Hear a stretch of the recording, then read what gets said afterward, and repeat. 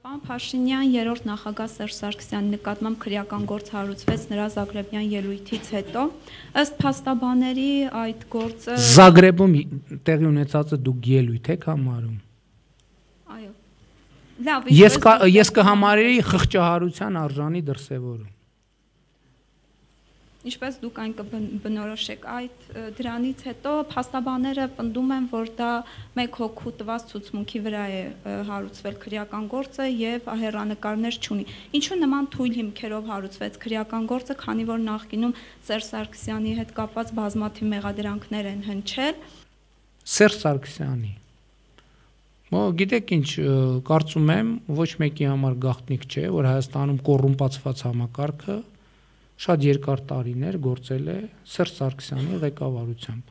Եվ ես կիսում եմ ձեր զարմանքը, թե ինչու բազմաթիվ այլ գործերով մենք ճունենք լուրջ, ավելի լուրջ բացահայտումներ։ Ես կիսում եմ ձեր եւ 168 ժամ լրատվամիջոցի զարմանքը, թե ինչու այդ կոռումպացված պաշտոնյաները միջև հիմա ազատության մեջ են։ Կիսում եմ եւ և խոստովանում եմ, որ այդտեղ մենք ունենք խնդիրներ եւ այդ խնդիրների հետ մասին ես բարբերաբար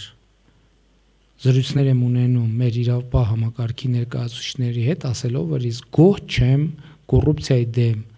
պայքարի ծավալներից եւ որակից